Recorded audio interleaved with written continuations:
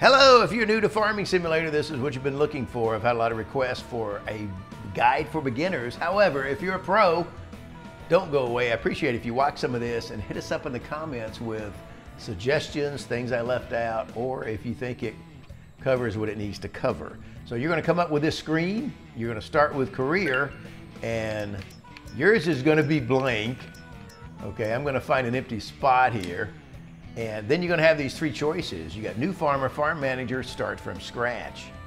Uh, new farmer is on the easy mode. You start with $100,000, a couple of pieces of land, usually a couple of fields, and some basic equipment. Uh, farm manager, you have a million and a half dollars, but you have no land, no equipment. You get to set everything up yourself. That's not really a place to start.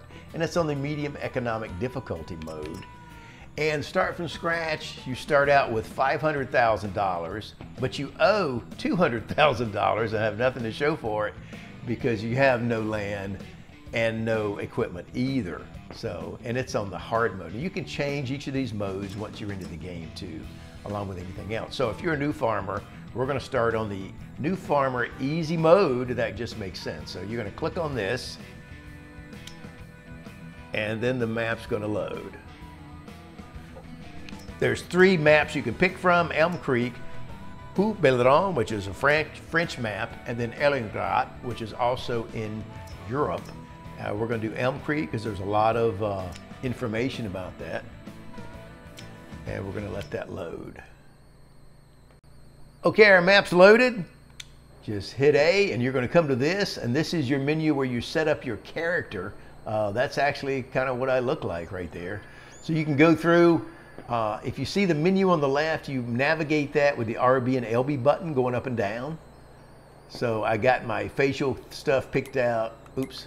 You can go down to hairstyles, uh, facial hair, mustaches, uh, shirts, outfits, shirts, pants, shoes, hats, even gloves and glasses, and then you're back. So once you get that all solidified, you hit B to confirm, and you're going to be into the game. Now you're going to get to this screen here. It's going to tell you or ask you if you want to do the tutorial. I recommend the first time you play the game that you say yes. Right now today I'm going to say no, but it's really helpful to give you a guided tour. You can always turn that off on the menu and you can always turn it on on the menu. In fact, it's going to tell us if you like to turn it on later, you can go in the menu and turn that on. Okay, some basic navigation for me to walk. I'm going to I'm on the Xbox. So if you have a console and you're playing, or if you're on a PC and you're playing with a controller, you're going to push forward on the left joystick to walk. And of course, right goes right, left goes left, back goes back. You turn with the right joystick. So that's how you navigate your character. And if you're walking, you want to go faster, you can hit the right trigger and he's actually going to run. So that's kind of cool. All right, let me show you some menu items. Well, first there's some help things you can see on the top left of the screen there. Uh, you press A to jump, B to crouch.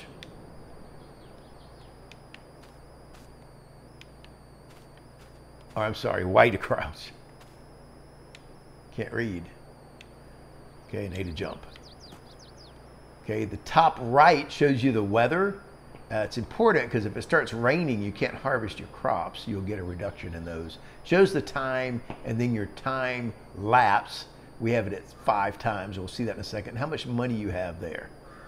Uh, so if you zoom in on your joystick and press the three lines there, right here, you're going to come up with this menu. And this shows the basic map. Uh, you use the uh, left and right trigger to zoom in and out. You use the right joystick to navigate the map.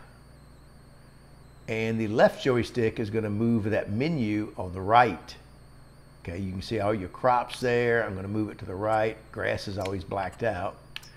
You move it again, you got your growth stages of different crops. You have your soil composition, and we'll talk about this later.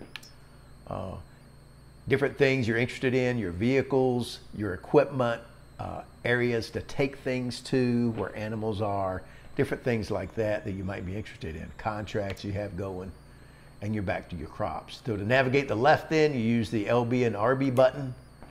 Okay, this one is your drive map, and this is where you use the artificial intelligence, AI workers, to maybe you need to take a load to the market for you, or they're working on a field or something like that, and you can see where they are and what they're doing. This is your crop calendar. It's going to show you when and where you can plant different things. So, for example, wheat, you plant it in September. The green is where you plant, and the orange is when you harvest. So, you're going to plant that in September or October, harvest that in July or August. So, if you plant it in September, you're going to harvest in July. If you plant in October, you're going to harvest in August.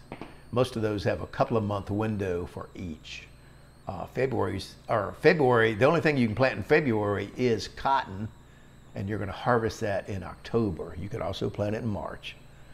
But you can scroll down. Sometimes there's more crops at the bottom than there is. And some of these maps will have modded crops added.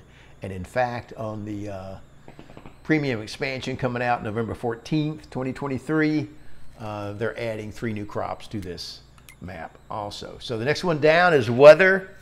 Uh, so you can see kind of what's going on with the weather, if it's going to snow next month or whatever, or tomorrow or whatever.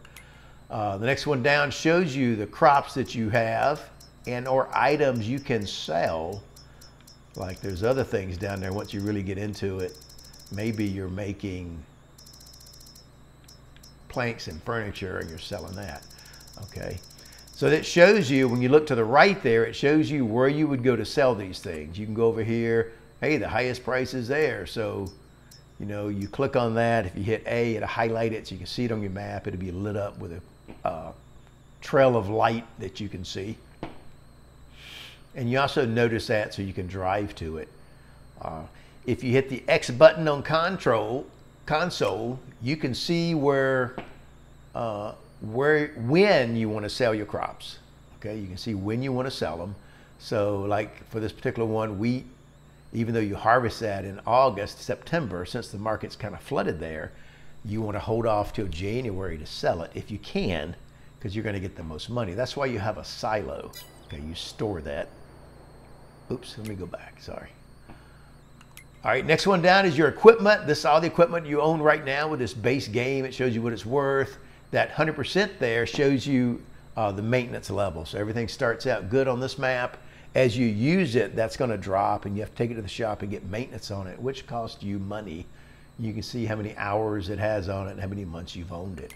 Uh, this is a really important screen here. This is your, your financial screen, your money. Uh, all your positive money will be in white. All your negative money or payouts will be in red. And don't forget to scroll out up and down using the left joystick so you can see uh, different things on there. Okay, vehicle running cost, your maintenance, loan interest. You can borrow money. The standard, uh, if you want to borrow money here, you hit X in increments of $5,000 and you pay it back by hitting the Y button in increments of $5,000.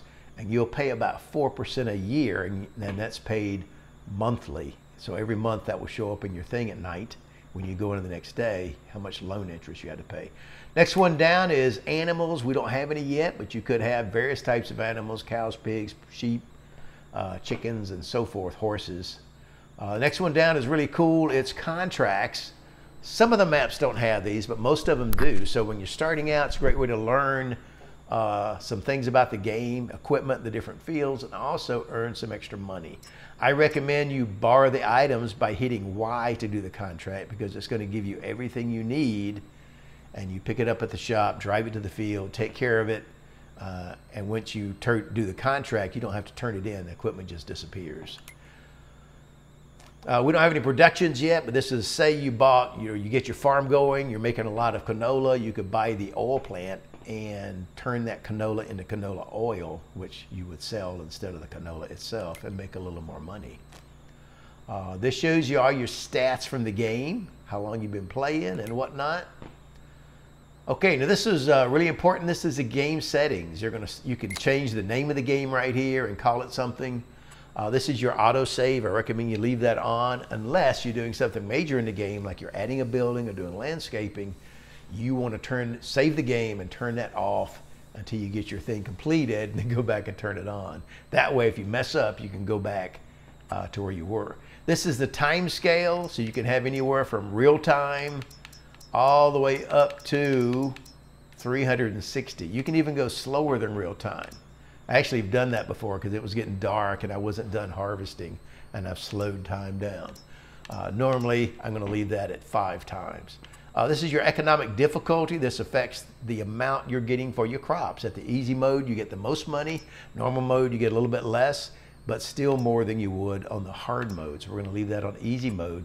And this turns the traffic on and off. I like the realism of it, but every now and then if you get stuck, I've been stuck by a bunch of cars before that trapped my harvester and I couldn't get across the road. I would go turn traffic off, cross the road, then turn it back on. Seasonal growth. In Farming Simulator 22, you have seasons. In Farming 19, Farming Simulator 19, that was an option or a mod, I guess, that add that. So you have it here.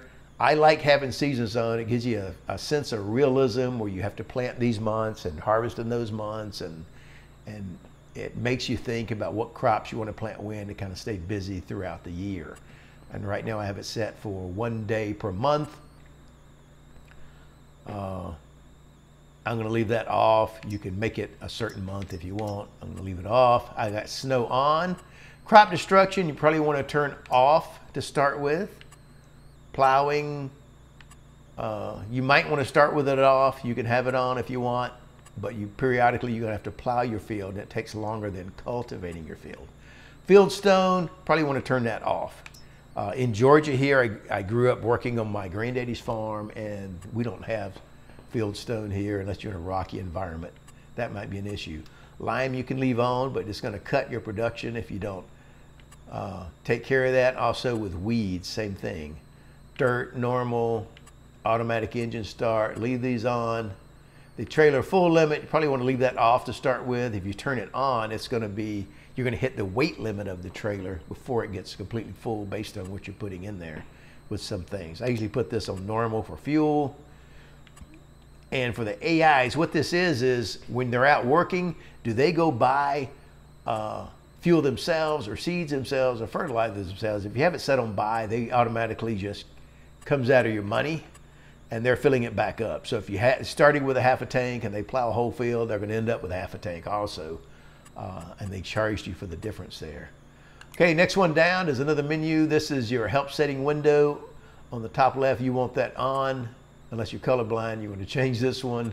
Interactive zone markers, you're going to see a yellow and black marker around where, where you might pick up pallets of eggs, say outside your chicken pen. Uh, info trigger, you want that on because it shows you uh, where to drop stuff off. Same thing with the field info. You can walk on a field, look at it, and it tells you some information about the field. Uh, units of money, you, your choices of dollars, pounds, and euros. So based on where you are, same thing with miles or kilometers, Fahrenheit or Celsius, or hectares or acres. Okay, you, you can actually play a little radio with music in your tractor if you want to listen to that while you're plowing. Okay, uh, reset vehicle camera. Do you want it to reset every time you go to the thing? Or do you want the last position you have? I usually have that off. I want it set like I had it. You want the suspension on, that gives it a realistic look.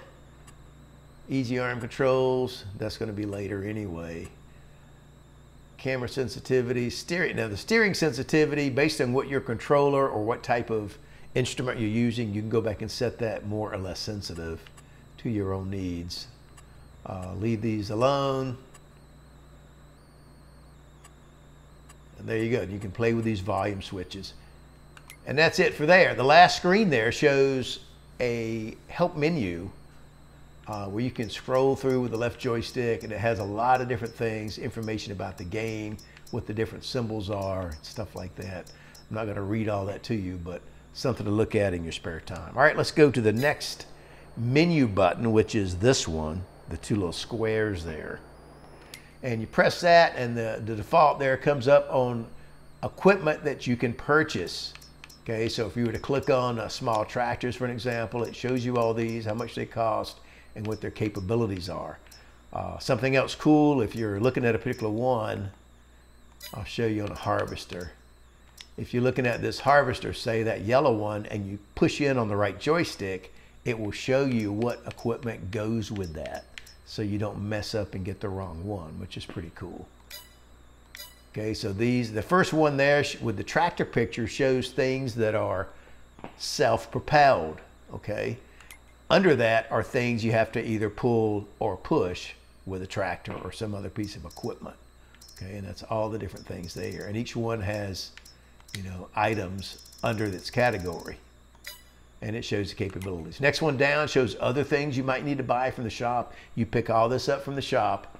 Uh, big pallets here, big bag pallets such as fertilizer, big bags, other things, other pallets, liquid fertilizer, herbicide, all the way over to tree sampling, sugarcane, poplar, different bells you might want to get. Uh, next one down is really cool. It's packs. That's new for Farming Simulator 22. You can click on that. Uh, if you select that, like if I pick uh, grapes, it's going to show me the equipment I need for grapes, the very basic equipment. Sometimes there's better equipment in there, but this kind of shows you what you need to get started with that particular item. So that's really useful. Uh, the next one down on the menu is used vehicles. This is really important if you're going through the game. Like right now, they got that Massey Ferguson tractor on sale for $38,000, uh, which is not a bad deal. It has 170 horsepower. It's 60% off the normal price. So that might be something I'm looking at right now. I got 100 grand. I could purchase that, do a little maintenance on it, and I'd still be way ahead financially. If you go down one more, it's going to show you the equipment that you have, and each one has a category within the category if you have more than one. Only one I have more than one with right now are tractors, but well, and weights, and you can see those. So all those little items. Next one down shows equipment if you lease it. So when you get a piece of gear, let me just hop back up here. So if you're at this and I want to get this tractor, have the option of purchasing that if I purchase that, it's cost me $49,500 or I could lease it for 2500 right now, base cost, and then they charge you per work day, but also per work hour. Okay, so that can get expensive, but sometimes when you don't quite have enough money to get something that you really need, uh, it's helpful to lease equipment. And the next one down shows uh, some cool things here. The animal dealer, we don't have any animals. You can jump here and go to your wardrobe again if you want to change something. Uh, and you can show which land is yours, farmland. And I forgot to mention, you can also get to that uh, if you're on the map by clicking in on the left joystick button. It will show which land is yours. Okay, so let's go back to this menu. The main thing you're going to go to this for is construction. So construction is where you add buildings or sell buildings. Okay, and each category has the categories below it. You can navigate using the uh, little X button there. This one looks like a cross. Can't remember what you call that. Somebody help me out. All right, production. This is where I mentioned you might put something into production and then you sell the products that it produces. Okay, you can scroll through that and look at those. And then you have different things under there. Oops animals you might want to get. You got decoration things you can add to your farm, such as lights and fences. And you got some landscaping functions. And this is a whole nother video on how to use these things. Okay. And that's it. That's the menu. That's the whole uh, menu and controls here for Farming Simulator. Some basics to get you started.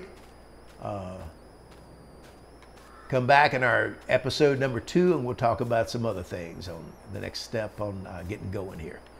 So give us a thumbs up. Don't forget to subscribe to the channel and share this with your other new farming buddies. And like I say, if you're a pro, give us some comments down below. And this is where you go to sleep. And we're going to sleep and go to the next day. I'll see you next time. Bye-bye.